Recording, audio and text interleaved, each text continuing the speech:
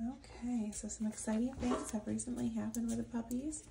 They are moving around much better now. And if you look closely, you can tell that we have some eyes open.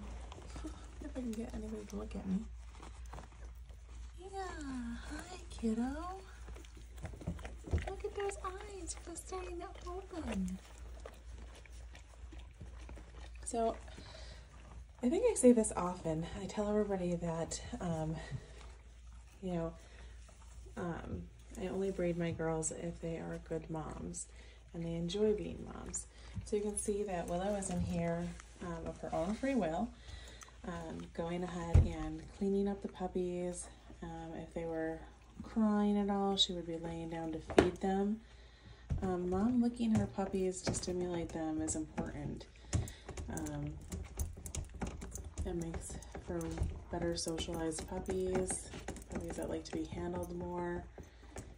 And Willow is amazing at this.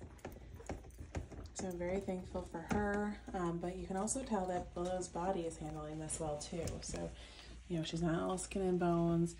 Um, she's being a good mom in that she's also eating the high quality diet that we're giving her. I'm not having to um, doctor that much.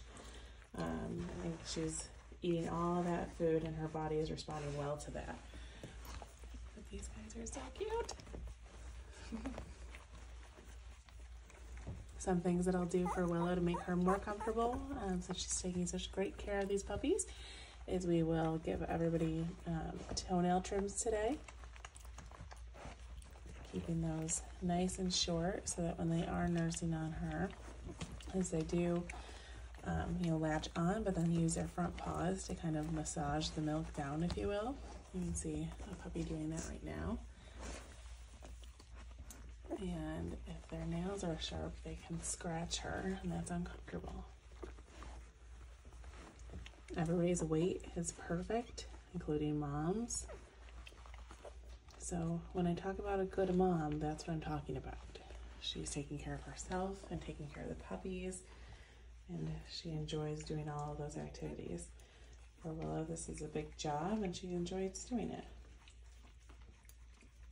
All right.